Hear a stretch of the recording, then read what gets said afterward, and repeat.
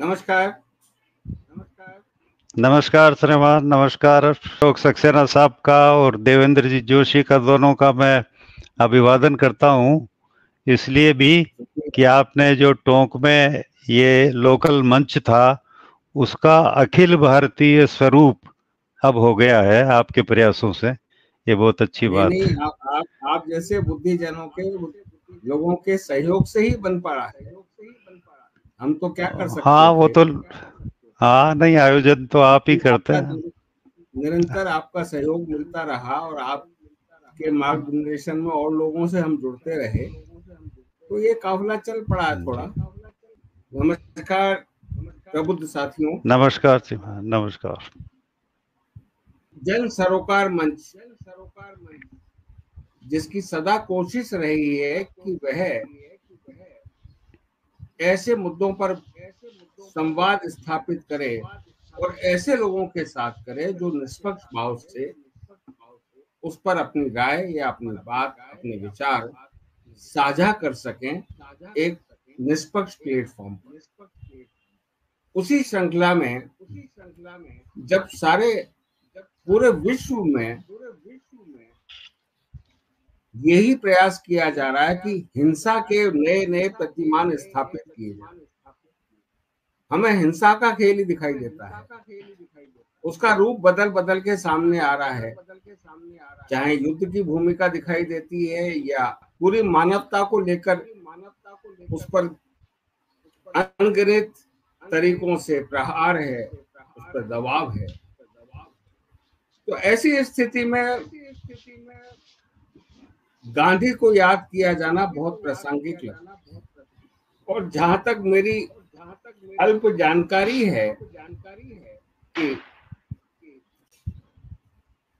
गांधी की जो अपने सत्य के प्रति निष्ठा रही, उनके संपूर्ण जीवन में, उस पर बातचीत की जाए, क्योंकि क्योंकि गांधी ईश्वर की परिकल्पना से पहले भी अगर बात करते हैं तो कहते हैं अगर बात करते हैं इस उनके लिए सत्य ही ईश्वर है। उनके लिए सत्य ही अब गांधी का सत्य क्या है? अब गांधी का सत्य क्या है? इस बात पर थोड़ा विचार विमर्श करने के लिए मैं आज इस मंच ने मंच ने प्रोफेसर राजेंद्र गर्ग साहब को आमंत्रित किया है उनका सहयोग चाहे है। गर्ग साहब थोड़ा सा इस पर विचार अपन करें। कि गांधी का सत्य के प्रति जो निष्ठा रही उस निष्ठा को हम किस तरह से उनके सत्य को पहचानते हुए उनकी जीवन शैली को समझते हुए उस पर हम विमर्श कर। जी। आदरणीय साहब। जी। जी आपने जो इसका विषय लिया है उसमें तो गांधी जी का संपूर्ण जीवन और उनका जीवन दर्शन आ गया है। इसलिए ये बहुत ही गहरा प्रश्न है। गांधी जी ने अपनी आत्मकथा का जो शीर्षक रखा है title my experiments with truth और सचमुच में ही उनका पूरा जीवन सत्य को जानने का ही था। जैसा आपने अभी बताया कि गांधी के लिए सत्य ही ईश्वर है, सत्य ही ईश्वर था। ईश्वर सत्य नहीं है, वो कहते हैं, उन्होंने कई बार कहा कि ईश्वर सत्य है या नहीं है मुझे नहीं पता। मैं उन फिलोसफीज में नहीं जाता, लेकिन मेरे लिए तो जो सत्य मुझे सत्य लगता है, वही ईश्वर है। और एक्सपेरिमेंट इसलिए उन्होंने किए कि गांधी कोई इस तरह के व्यक्ति नहीं थे कि एक बार जो उनको सत्य समझ में आ गया, उसके चिपक गए। लगातार एक्सपेरिमेंट करने का तात्पर्य यही है कि सत्य की खोज भी अनवरत होती रहनी चाहिए। गांधी जी ने जीवन भर देखा जाए तो हर हर क्षेत्र में सत्य की ही खोज की है, और कुछ किया ही नहीं। और जो सत्य उनको प्राप्त होता रहा, उस पर उन्होंने कोई समझौता नहीं किया। और इसीलिए, जैसे महान वैज्ञानिक आइंस्टाइन ने कहा कि भाई, आगे आने वाली पीढ़ियाँ मुश्किल से ये विश्वास करेगी कि हार्ड मास का बना हुआ एक ऐसा व्यक्ति इस धरती पर कभी चला था ये आगे आने वाली पीढ़ियों को विश्वास में नहीं आएगा। एक ऐसा व्यक्ति जो बिना रुके और बिना थके और बिना डरे और बिना किसी स्वार्थ के, बिना किसी को खुश किए और बिना किसी को नाराज़ किए, अपने पथ पर चलता रहा और अपने मृत्यु के अंतिम क्षण तक जिसने सत्य की खोज जारी रखी उस व्यक्ति को गांधी कहते हैं। आ, गांधी जी ये कहते थे कि भाई किसी की किसी को पसंद करने के लिए या किसी को नाराज़ करने के लिए अगर हम कोई कार्य करते हैं तो वो हिंसा का कार्य है। अहिंसा तो वही है जो सत्य पर आधारित हो। और गांधी एक ऐसा युग पुरुष हमारे सामने आता है कि न तो किसी देवी देवता को, न किसी मसीहा को उसने कभी पूजा, पाठ, यज्ञ, प्रार्थना कुछ नहीं की। उसने केवल सत्य की आराधना की। और इसीलिए इसीलिए गांधी का आत्मबल इतना ज़बरदस्त था कि भारत पाकिस्तान का जो विभाजन हुआ तो जो दोनों तरफ़ से हिंसा होती रही, अब वो हिंसा इस तरह की थी कि घर घर और मोहल्ले मोहल्ले में थी। ऐसी हिंसा को सेना रोक नहीं सकती। किस किस के घर जाएगी? तो डेनिस डाल्टन कहते हैं कि भारत और पाकिस्तान में जो विभाजन के समय हिंसा हुई हर मोहल्ले में, हर घर में, उसको सारे संसार की सेनाएँ भी रोक नहीं सकती थी। एक व्यक्ति ने, गांधी ने अपना बलिदान देकर के उस हिंसा को रोक दिया। उसी तरह नोआखाली जब गए गांधी तो उस समय उनके रास्ते में बहुत रुकावटें डाली गई। लोग उनको नोआखाली में घुसने नहीं देना चाह रहे थे, वहाँ हिंदू मुस्लिम दंगे चल रहे थे। उनके रास्ते में मलमूत्र ऊपर से छतों पर से डाले गए।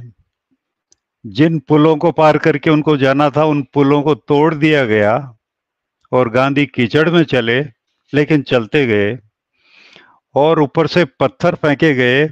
सब कुछ हुआ, लेकिन गांधी चलते गए और अकेले अकेले नोआखली में वो, उन्होंने 200 किलोमीटर का सफ़र किया। कई गाँवों में गए। उन पर कई जगह शारीरिक हमले हुए और अंत में ये हुआ कि वहाँ के लोग जो हिंसा पर उतारे थे, उनका मन, उनका अंतर्मन इस तरह से बदला कि उन्होंने अपने हथियार फेंक दिए गांधी के सामने आकर के। और हिंसा समाप्त हो गई। और वहाँ से फिर वो बिहार की उनके जाने की योजना बनी। तो इस प्रकार से ये सब काम तब होता है जब आत्मबल हो। अब कई लोग पूछते हैं, बात करते हैं कि गांधी जी का जीवन दर्शन क्या था? आइडियोलॉजी क्या थी? तो मुझे तो गांधी जी का कथन याद आता है। वो कहा करते थे कि भाई मेरा तो कोई जीवन दर्शन है नहीं। मैंने कोई अपना दर्शन नहीं बनाया। मेरी कोई आइडियोलॉजी भी नहीं है। मैंने अपना जीवन आपके सामने जिया है। उसमें गुप्त बात कुछ भी नहीं है। सब आपके सामने है। उसमें अगर आपको कोई चीज़ अच्छी लगती हो तो आप उसको अपनाने का प्रयास करें और जो बुरी लगती हो, उसको आप छोड़ दें। यही मेरा जीवन दर्शन है। तो अन्यथा मेरे मेरे दिमाग से मैं सोचता हूँ कि गांधी जैसे वो कहानी आती है ना कि चार पाँच अंधे लोग थे, वो एक हाथी के सामने हाथ, उनसे कहा गया कि हाथी का वर्णन करो। तो जिसने हाथी की सूंड पकड़ी, उसने कहा कि हाथी अजगर जैसा होता है। पूंछ पकड़ी तो साहब रस्सी या सांप जैसा होता है। और पैर पकड़े, टटोल के देखा तो भाई हाथी खम्बे जैसा होता है। तो होता क्या है कि गांधी के जिस पक्ष को कोई व्यक्ति अकेले अकेले उसी पक्ष को देखना चाहे तो गांधी को नहीं समझ सकता। तो इसलिए गांधी को समझने के लिए उनके जीवन को समझना पड़ेगा। तो गांधी जी, भारतीय जो हमारा उस समय उन्नीसवीं और बीसवीं सदी में जो पुनर्जागरण हो रहा था, ये देश में तीसरा पुनर्जागरण था। पहला गौतम बुद्ध के जमाने में, दूसरा कबीर नानक दादू दयाल के जमाने में और तीसरा ये ब्रिटिश टाइम में। ये तीसरा हम जागृत हो रहे थे, नवजागरण हो रहा था। तो इसमें न केवल गांधी, बल्कि उनकी पीढ़ी के सभी लोग चाहे वो महादेव गोविंद रानाडे हो दादा भाई नारोजी हो फिरोज शाह मेहता सुरेंद्र नाथ बनर्जी, गोपाल कृष्ण गोखले बाल गंगाधर तिलक, लाला लाजपत राय, है ना, M N Roy, Bipin Chandra Pal, sir Syed Ahmad Khan, Sardar Patel, Jawaharlal Nehru, Abdul Kalam Azad और अंबेडकर साहब, ये सभी लोग ये स्वतंत्रता के सेनानी ही नहीं थे। इनको केवल स्वतंत्रता के सेनानी बताना, इनको छोटा करना है। ये भारतीय समाज को सदियों की नींद से जगा रहे थे। और ये भारतीय समाज को ये बताना चाहते थे लोगों को कि हमारे अंदर क्या क्या खराबियाँ, विकृतियाँ, बुराइयाँ आ गई हैं, जिसके कारण हमारी दुर्दशा है। स्वतंत्रता प्राप्ति तो इनका कोई बहुत गौण और बहुत छोटा सा कोई लक्ष्य रहा होगा, बाकी मुख्य रूप से इनका लक्ष्य ये था। और इसलिए उस पीढ़ी में, भारत में ऐसे ऐसे महापुरुष पैदा हुए, जो जैसा मैंने नाम लिया, इस तरह की एक पीढ़ी कहीं हमको दिखाई नहीं देती, किसी भी देश में, इतने छोटे से समय में। तो गांधीवाद पर पुस्तकें पढ़कर हम गांधी को नहीं समझ सकते। एक महादेव भाई देसाई की डायरी है, जो गांधी के प्राइवेट सेक्रेटरी थे। उन्होंने 22 वॉल्यूम में 22 वर्षों का गांधी का जीवन लिखा है। रोज का दैनिक जीवन क्या क्या कर और वो चाहे गांधी ट्रेन में हो या किसी जेल में बैठे हों सब जगह वो गांधी जी का वर्णन कर रहे हैं किसी से बातचीत की तो बातचीत लिखी उन्होंने पूरी। तो वो महादेव भाई देसाई की डायरी उनके जीवन को बताती है, उनकी आइडियोलॉजी को नहीं बताती। तो उसको पढ़ने से मुझे गांधी जी के का जीवन ऐसा समझ में आया। मैं समझता हूँ कि न तो इतिहास में, न किसी महाकाव्य में ऐसा महान व्यक्ति कभी आया होगा, जैसे गांधी जी थे। तो अब गांधी जी के बारे में उनके जीवन को ही अगर समझा जाए तो बहुत कुछ समझ में आता है और उनके सत्य का प्रयोग भी तभी समझ में आता है जब हम उनके जीवन को समझें। अन्यथा तो हम केवल आइडियोलॉजी की बात करेंगे तो कभी तो हम कहेंगे कुटीर उद्योग कभी कहेंगे साहब वो जो है ट्रस्टीशिप सिद्धांत को मानते थे कभी और कभी कहेंगे वो समाजवादी थे कभी कहेंगे क्या। तो इससे हम गा, गांधी को नहीं समझ सकते। गांधी के जीवन को समझना पड़ेगा। तो इसलिए मैं कह रहा हूँ कि गांधी एक दुनिया के सबसे बड़े क्रांतिकारी थे, क्योंकि अन्य जिनको हम क्रांतिकारी मानते हैं, मान लीजिए जैसे मार्क्स है, लेनिन है, माओ तुंग है, या अब्राम लिंकन है, या कोई महापुरुष जो भी रूसो है, फ्रेंच रेवोल्यूशन के, इन लोगों ने जीवन के किसी पक्ष को लिया। ये लोग केवल व्यवस्था परिवर्तन चाहते थे। जबकि गांधी मनुष्य जाति का हृदय परिवर्तन अंतर्मन परिवर्तन। तो इसलिए गांधी की क्रांति बहुत बड़ी क्रांति है और आ, उन्होंने मतलब मैं तो उनको सबसे बड़ा क्रांतिकारी मानता हूँ। उनका जो है कि जैसे जैसे एक चीज़ से दूसरी चीज़ जुड़ी हुई है। अब हम कह देते हैं कि साहब गांधी बड़ी मशीनों के खिलाफ थे।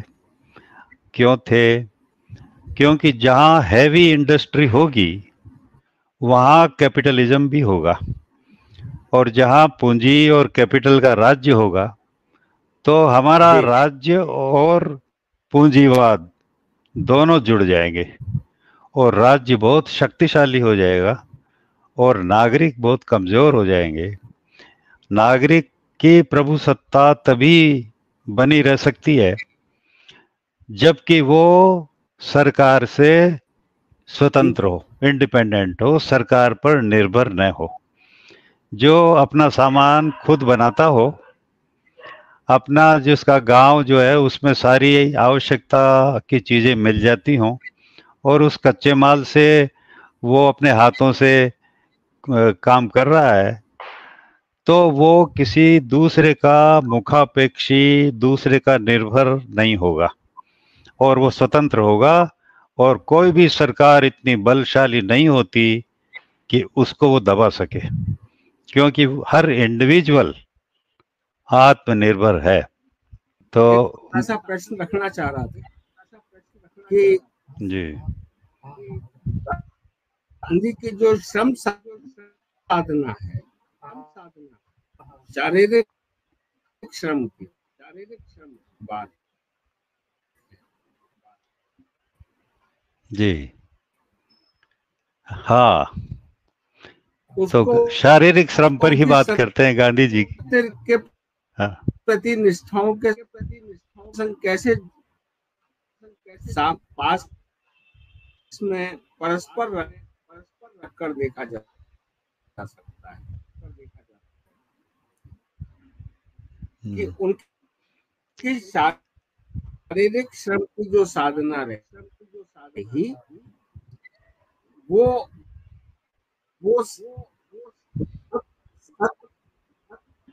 हाँ तो वो सत्य सत्य। के प्रति जो उनकी जो उनकी निष्ठा थी उसको कॉरिलेट हाँ। कैसे कर रही जी। या नहीं कर पा रही? या नहीं कर पा रही हाँ। शारीरिक श्रम और सत्यनिष्ठा में क्या संबंध था गांधी जी के लिए? यही आपने पूछा था ना? तो मैं दक्षिणी अफ्रीका में ही गांधी जी का जो जीवन रहा क्योंकि दक्षिण अफ्रीका में भी वो 22 साल रहे आपसे छोटा सा प्रश्न था कि गांधी हाँ। जी की श्रम शारीरिक श्रम साधना जो है उसको हम गांधी जी के सत्य के प्रति जो निष्ठा रही जीवन में इनमें आपस में कोई सह संबंध तलाश सकते हैं? जी हाँ उनका उनका सारे जो उनके क्रियाकलाप है वो अंत में सत्य की तरफ़ ही जाते हैं सत्य की खोज की तरफ़ ही जाते हैं। मैं आप बताऊँ कि गांधी जी दक्षिणी अफ्रीका में भी वो 22 साल रहे और लगभग उनके जीवन का आधा समय जो है वो दक्षिण अफ्रीका में बीता। हम्म। तो वहाँ के उनके जीवन के बारे में मैं आपको बताऊँ बहुत संक्षेप में शारीरिक श्रम के बारे में। कि दक्षिणी अफ्रीका में भी उन्होंने आश्रम खोला था। फिनिक्स आश्रम था और और भी एक आश्रम था। तो ये आ, आश्रम में साठ सत्तर परिवार रहते थे। गांधी जी को एक लकड़ी की अलमारी बनानी थी पुस्तकें रखने के लिए। अब आश्चर्य की बात यह है कि गांधी जी एक बहुत अच्छे कारपेंटर भी थे। वैसे वो बहुत अच्छे मोची भी थे, बहुत अच्छे जूते चप्पल बनाते थे, बहुत अच्छे कुमार भी थे, घड़ा मटका बनाना जानते थे, बहुत अच्छे वो तेल निकालने वाले तेली भी थे और बहुत अच्छे जुलाहे वस्त्र बुनने वाले भी थे और रफूगर भी बहुत अच्छे थे। कपड़ों का रफू ऐसा करते थे कि जैसे ओरिजिनल कपड़ा हो। तो ये सारी बातें हैं, लेकिन मैं आपको बताऊँ कि अलमारी बनानी थी और तो गांधी जी ने कहा कि कारपेंटर की क्या ज़रूरत है? तो सुबह आठ बजे से काम शुरू किया और शाम को सात बजे तक उन्होंने आठ फुट ऊँची लकड़ी की अलमारी बना करके तैयार कर दी। बस केवल हथौड़े और कीलों की सहायता से और जो भी औज़ार होते हैं। अब इससे आप आ, हम अंदाज़ा लगा सकते हैं। गांधी जी का दक्षिण अफ्रीका में जहाँ आश्रम था। उससे मुख्य सड़क की दूरी थी लगभग आधा पौन किलोमीटर। बीच में कच्चा रास्ता था। गांधी जी और उनके आश्रम वासियों ने अपने खुद शारीरिक परिश्रम से वो एक किलोमीटर की सड़क पक्की बना दी। खुद काम करके। ऐसा नहीं कि गांधी जी कुर्सी पे बैठे हैं और बाकी लोग काम कर रहे हैं। हाँ और आओ जब वो बैरिस्टर थे तो बैरिस्टर थे तो सवेरे चार बजे उठ करके तो आटा पीसते थे चक्की, हाथ की चक्की पे। और अपनी हजामत खुद बनाते थे। अपने कपड़े धोना और उन पे इस्त्री करना। और फिर वो जो मलमूत्र वहाँ वो वो सिस्टम नहीं था नालियों का तो बर्तनों में ही करते थे तो वो उठा के फेंकना और कोई मेहमान आ गया तो उसका फेंकना। और फिर सारे काम करके छह मील यानी दस किलोमीटर दूर अदालत थी जहाँ वो आ, आ, ये थे मजिस्ट्रेट बैरिस्टर थे। तो छह मील यानी दस किलोमीटर पैदल जाते थे और टाइम पे पहुँचते थे। इसके अलावा गांधी जी अपना अखबार निकालते थे दक्षिण अफ्रीका में। तो उस जमाने में जमाने में संवाददाता वगैरह तो बहुत कम थे तो सारे अधिकांश अखबार की जो खबरें हैं वो गांधी जी खुद हाथ से लिखते थे, उनको टाइप करते थे, फिर उनको कंपोज करते थे।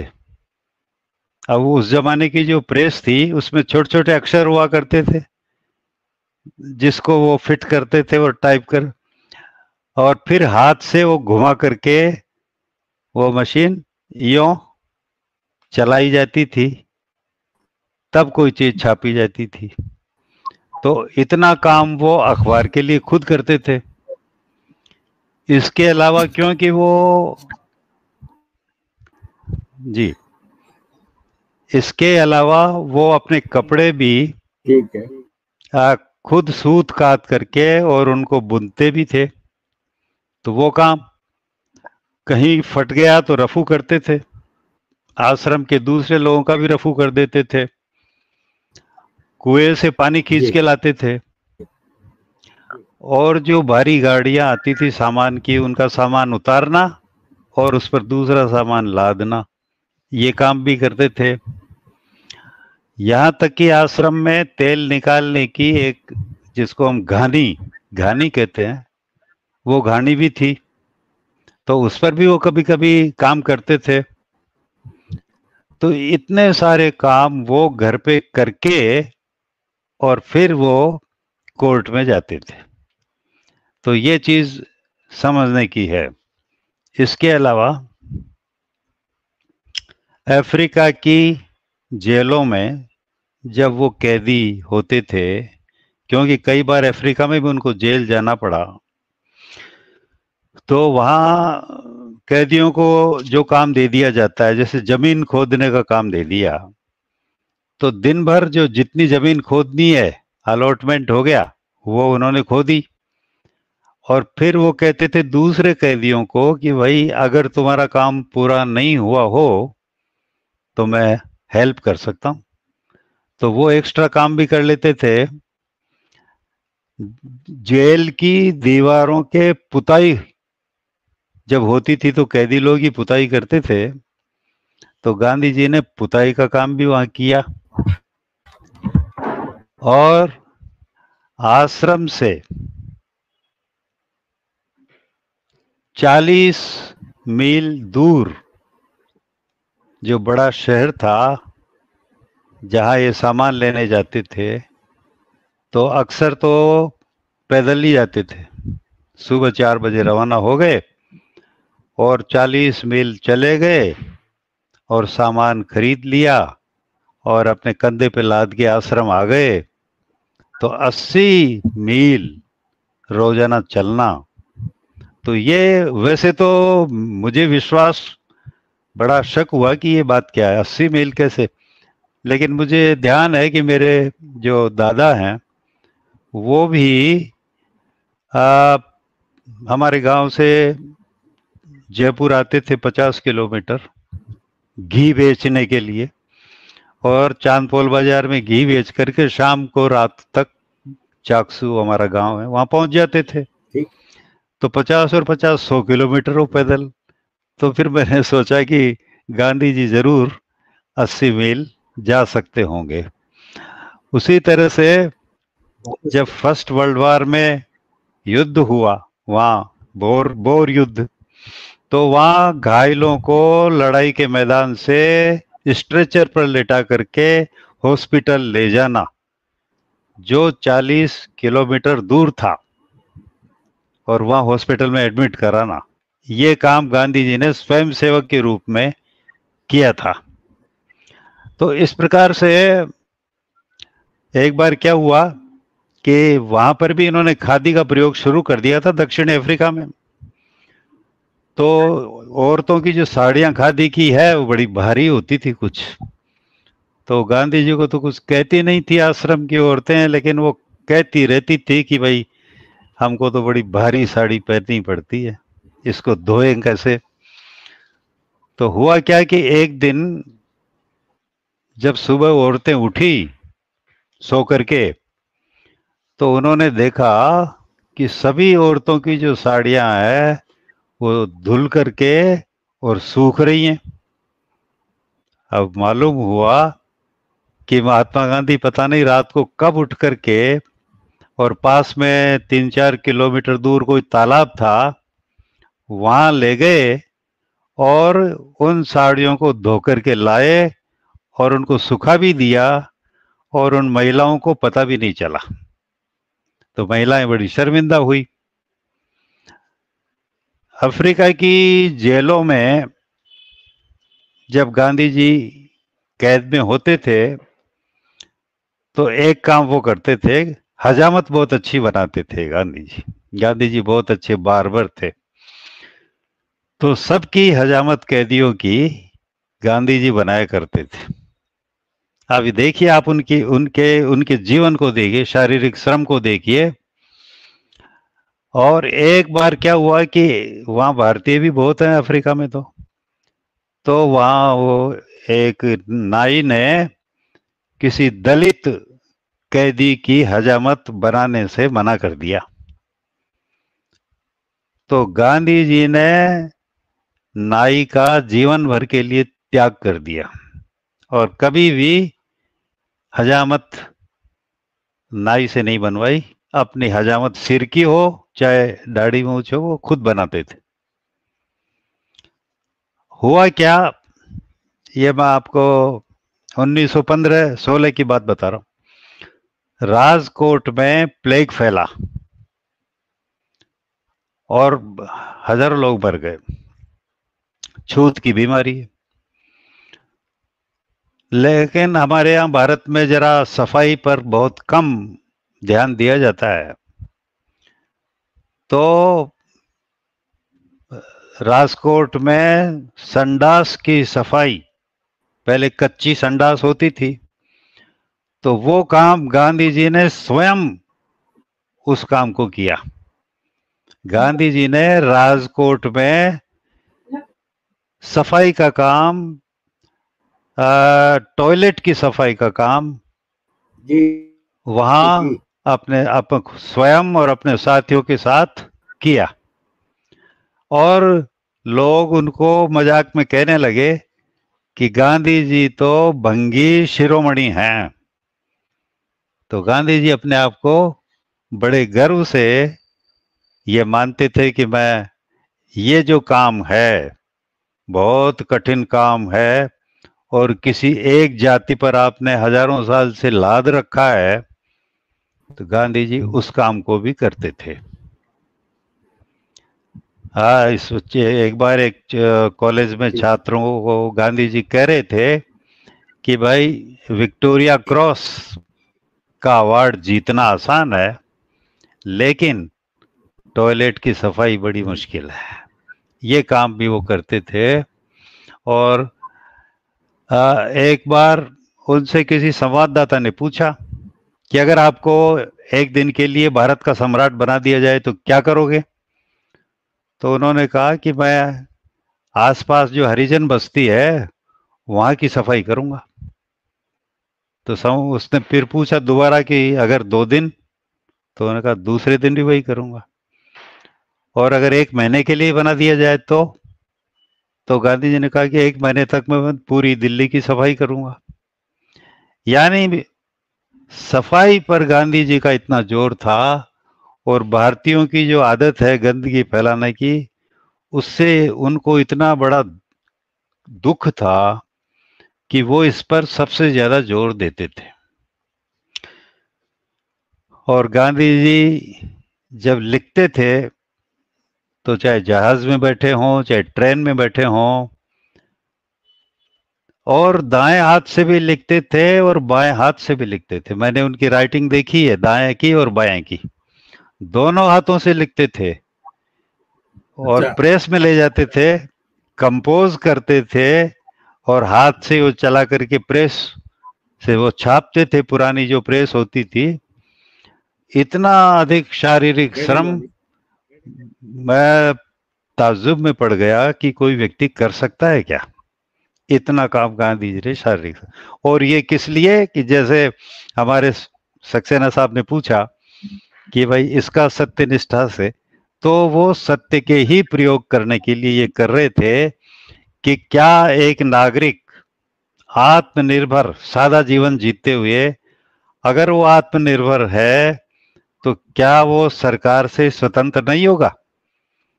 वो सरकार की कोई परवाह नहीं करेगा रूलिंग पार्टी की परवाह नहीं करेगा, वो स्वतंत्र है, वो प्रभुता संपन्न है। तो गांधी जी वैसे ही राज्य के खिलाफ थे। सरकार होनी नहीं चाहिए, राज्य होना ही नहीं चाहिए, क्योंकि राज्य तो हिंसा पर आधारित है।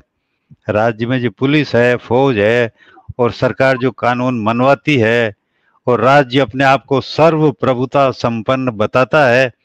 गांधी जी कहते थे, सर्व प्रभुता संपन्न राज्य हो कैसे सकता है? हिंसा से होता है। तो पूर्ण स्वतंत्रता तब थी ऐसा नहीं भारत के लिए वो कहते थे कि अंग्रेज़ों के चले जाने से हम स्वतंत्र नहीं हो जाएँगे। कुछ भी नहीं होंगे सरकार बदल जाएगी कुछ नहीं होगा। हम स्वतंत्र तब होंगे जब सरकार या राज्य हो ही नहीं और हम हर नागरिक प्रभुता संपन्न हो। तो ये आपने जो सत्य निष्ठा और श्रम के बारे में जो बात बताई वो मुझे थोड़ा सा ये, ये उदाहरण याद आ गए। तो इसलिए मैंने ये आपको बताई। और आ, उनके जो धार्मिक विचार हैं तो कभी किसी ने नहीं देखा। नहीं इनकी जी। इनकी पत्रकारिता जी। जी। मैं कह रहा था हाँ। इनकी पत्रकारिता को लेकर जो इनकी सोच रही सोच रही को इस प्रसंग में कैसे समझा जा सकता है?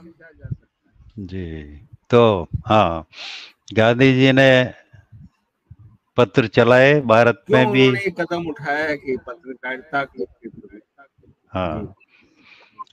पत्रकारिता जन जागरण का जो यज्ञ है है ना? जन जागरण का जो महान यज्ञ है उसमें पत्रकारिता का भी बहुत बड़ा हाथ है और भारत की स्वतंत्रता के के जो आंदोलन थे उसमें पत्रकारिता का बहुत बड़ा योगदान है। तो गांधी जी ने जैसे यंग इंडिया और हरिजन पत्र चलाए तो अब वो उनके विचार बड़े क्रांतिकारी होते थे और हर विषय पर वो अपनी बात लिखते थे। और किसी भी दुनिया में किसी भी सरकार और सत्ता की परवाह नहीं करते थे और जो बात सत्य होती थी वो करते थे। तो ये उनकी पत्रकारिता भी सत्य के ऊपर ही एक प्रयोग था। और इसीलिए गांधी जी ये मानते थे कि जनता का जागरण करना है, नागरिक बंधुओं का नागरिक शिक्षण करना है तो पत्रकारिता का उसमें बहुत बड़ा हाथ है। आजकल पत्रकारिता कुछ दूसरे तरह की हो गई है। उसमें सत्य की जगह लाभ, अपना करियर और लाभ, ये चीज़ें आ गई हैं। जी। मतलब सत्य को स्थापित सत्य को स्थापित जी। हाँ सत्य के लिए ही पत्रकारिता उनकी चली। अन्यथा उनका तो जो। सत्य था वो तो जीवन में व्याप्त था। न किसी मंदिर में गए न पूजा पाठ किया तो बल्कि एक बार क्या हाँ। एक मैं एक रोचक प्रसंग ए, हाँ। सत्य के लिए जीता है और सम, जी तो वो गांधी जी ये मानते थे। कई बार ऐसी ऐसी बात आई। लोगों ने कहा कि साहब गांधी जी बापू जी आपने पहले तो ये कहा था। और आज आप ये बात कह रहे हैं। तो गांधी जी ने कहा कि भाई मेरी बाद वाली बात को मानो, क्योंकि आदमी निरंतर कुछ न कुछ सीखता जाता है।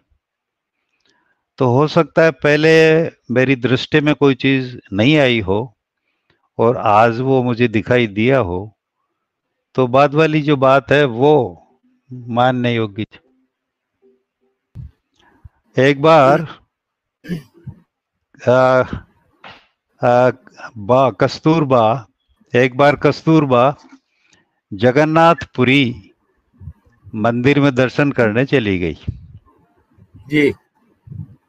तो आ, गांधी जी ने कुछ गांधी जी को इस बात से नाराज़गी हुई क्योंकि गांधी जी तो ऐसे मंदिरों में कभी गए नहीं। तो गांधी जी ने कहा कि भाई जिस मंदिर में तू गई है क्या उसमें मेरे दलित भाई और हरिजन भाई भी जाकर के पूजा करते हैं? और अगर नहीं करते तो तू क्यों गई? तू भी तो एक दलित की औरत है। मैं भी हाँ। दलित हूँ मैं भी हरिजन हूँ। तो ऐसे ऐसी जगह जाने का क्या अधिकार है? जहाँ हमारे सब भाई नहीं जा सके। और फिर गांधी जी ने तीन दिन का उपवास आत्म शुद्धि के लिए किया। किस लिए? कि कस्तूरबा जगन्नाथपुरी के मंदिर में दर्शन करने चली गई थी। अब इससे आप देखिए, एक बार क्या हुआ कि उनके आश्रम में एक सत्यदेव परिव्राजक एक बहुत बड़े बौद्ध दर्शन के विद्वान, जिन्होंने अमेरिकन यूनिवर्सिटीज में पढ़ाया और बहुत सी किताबें लिखी, वो भारत में आए और उन्होंने इच्छा प्रकट की महात्मा गांधी से कि मैं तो आपके आश्रम में ही रह करके काम करना चाहता हूँ।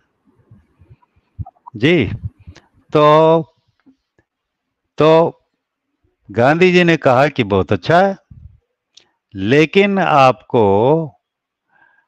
आ, ये जो आपने केसरिया वस्त्र पहन रखे हैं मतलब गेरुए वस्त्र बौद्धों के ये छोड़ने पड़ेंगे।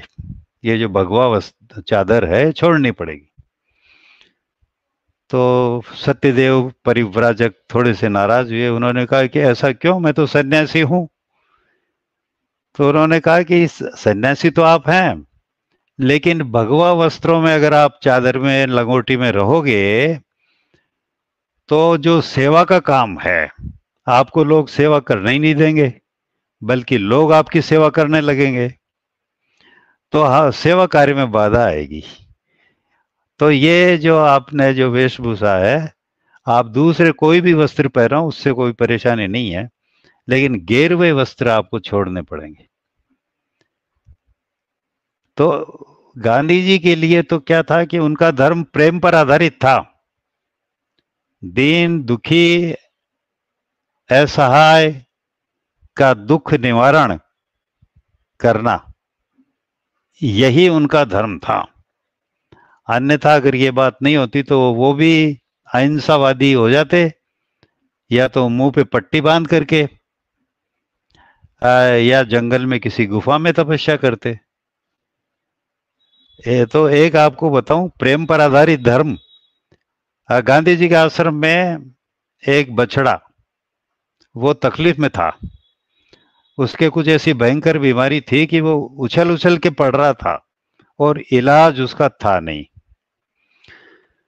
और वो पता नहीं कितने दिन तक तड़फता रहता। तो गांधी जी से ये सब देखा नहीं गया तो उन्होंने उस बछड़े को आ, गोली मार के मरवा दिया। अब सारे हिंदुस्तान में फैल गई बात कि गांधी जी ने गोहत्या करी गोहत्या करी। ये आरोप लगाने वाले कौन होते हैं? वो ये वो लोग होते हैं कि जिनके सामने गाय या बछड़ा कितने ही दिन तक तड़पता रहे और वो उसको देखते रहेंगे, उसके कष्ट को दूर नहीं करेंगे, क्योंकि उससे हिंसा होती है। उसको अपनी मौत मरने देंगे भले ही वो मौत महीनों बाद आए तो वो तो एक लंबा कष्ट हो गया। तो गांधी जी की जो अहिंसा थी वो प्रेम पर आधारित थी। आ, और ईमानदारी सत्यनिष्ठा गांधी जी के आश्रम में कभी इनके बेटे आते पुत्र पौत्र आते बहनें आती तो भी उनको अपने खाने का बिल चुकाना पड़ता था। और जो काम है रोज़ाना का, टॉयलेट साफ़ वगैरह का, वो भी करना पड़ता था। और बड़े बड़े नेता, अंतर्राष्ट्रीय नेता, विद्वान, लेखक जो उनसे मिलने आते थे, उनको भी टॉयलेट साफ़ करने की ड्यूटी करनी पड़ती थी अगर वो गांधी जी से आश्रम में मिलने आते थे तो। और जब कस्तूरबा गांधी का देहांत हुआ तो साहब जो चिता सजाई गई तो कुछ लोगों ने कहा कि साहब हम चंदन की लकड़ी लेके आ रहे हैं, थोड़ी बहुत चंदन की लकड़ी भी डालेंगे। गांधी जी ने मना कर दिया कि चंदन की लकड़ी तो मंदिरों में जो तिलक वगैरह लगाते हैं, छापा लगाते हैं, वहीं तक ठीक है, और एक गरीब आदमी के चिता में चंदन की लकड़ी लगाना ठीक नहीं है। एक बार गांधी जी के आश्रम में शाम के टाइम एक छोटा सा दीपक घी का दिया, घी का दिया जल रहा था।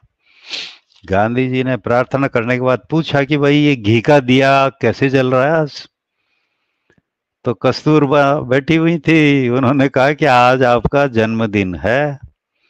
तो मैं ये छोटे से इस दीपक में, मैंने ये दीपक जलाया है घी का दिया जलाया।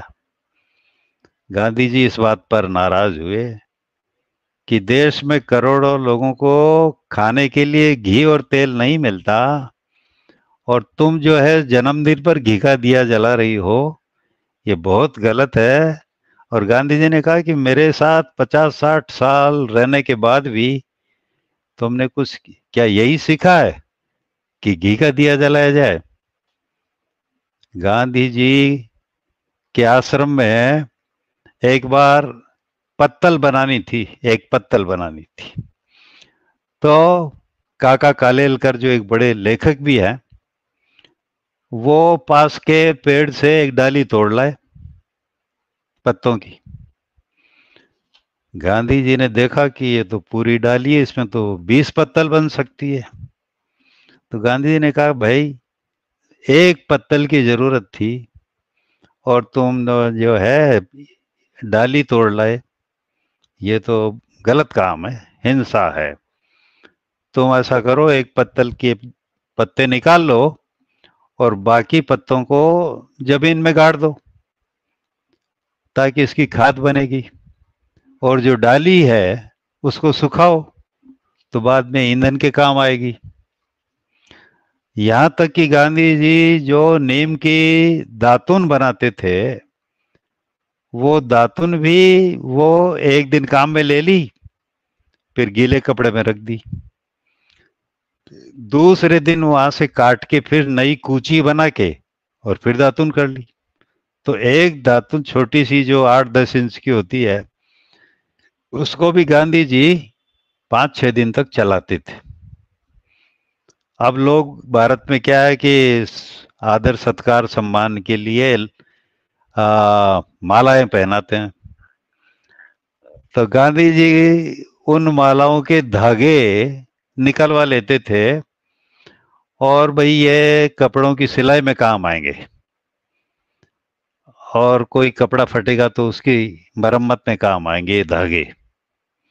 और ये फूल हैं, अब मुरझा गए तो इनको ज़मीन में गाड़ दो, ताकि इनसे कुछ उपजाऊ खाद बने।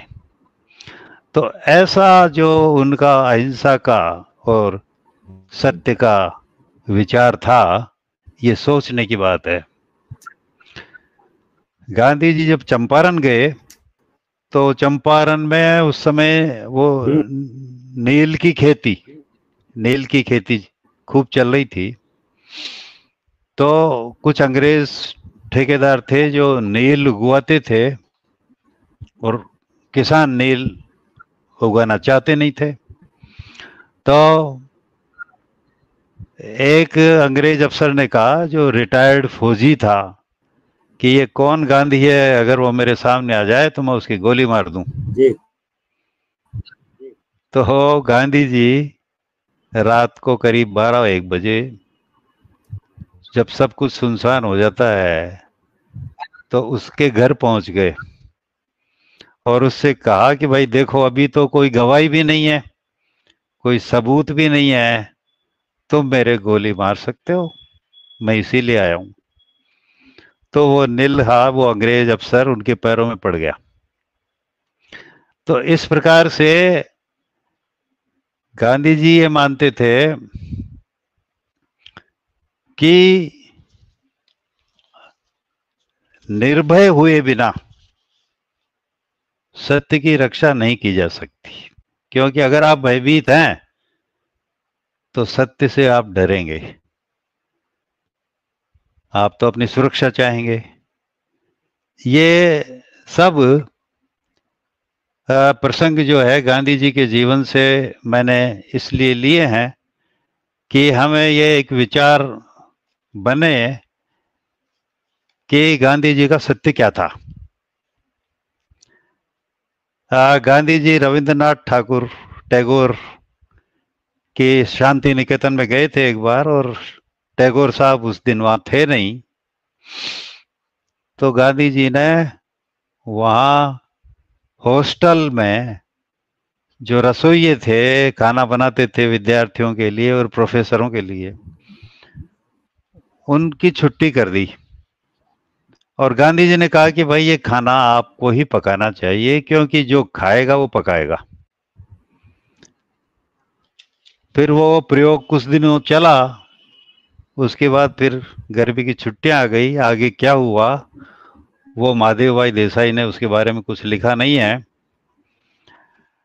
तो ऐसे कर्मयोगी एक बार दक्षिण अफ्रीका में एक पठान ने गांधी जी पे हमला कर दिया, गला दबा दिया। गांधी जी का चेहरा नीला हो गया और पता नहीं किस कोई आया और वो छोड़ छोड़ दिया। बच गए गांधी जी। कुछ दिनों बाद की बात है, कुछ दिनों बाद की बात है कि वो पठान किसी को कह रहा था, गांधी जी को नहीं कह रहा था, किसी को कह रहा था कि अगर मुझे अंग्रेज़ी भाषा का ज्ञान होता तो मैं चौगुना पैसा कमा सकता था। लेकिन मुझे आती नहीं है अंग्रेज़ी। गांधी जी ने सुन लिया वो। तो गांधी जी ने बाहर आके कहा कि भाई अंग्रेज़ी तो मैं सिखा दूँगा तुमको। तो पठान ने कहा कि मेरा गाँव तो आठ किलोमीटर दूर है तो कौन आपके पास रोज आएगा और रोज वापस जाएगा? तो आपको ताजुब होगा कि महात्मा गांधी खुद उसके यहाँ दो महीने तक आठ किलोमीटर जाते थे, अंग्रेज़ी पढ़ाकर वापस आते थे। और ये वही पठान था जिसने गांधी जी पर हमला किया था। तो ये सारी बातें मैं आपको इसलिए बता रहा हूँ आपके श्रोताओं को कि गांधी जी का वो फिर से मूल्यांकन करें और जो कुछ भी उनके खिलाफ प्रचार चलता रहता है, वो उसको समझें। और और सारे जो पूर्वाग्रह हैं गांधी जी के प्रति, उससे छुटकारा पाए। तो एक बार की बात और है। ये बात है जनवरी उन्नीस की, मृत्यु के एक साल पहले की। किसी ने गुस्से में आकर के गांधी जी का गला दबाया। उनके प्रार्थना स्थल पर। और गांधी जी का फिर वही हाल हो गया, खून का दौरा चेहरा नीला हो गया, लेकिन गांधी जी मुस्कराते रहे। और उनकी मुस्कराहट को देख करके उस व्यक्ति, वो व्यक्ति उनके पैरों में पड़ गया।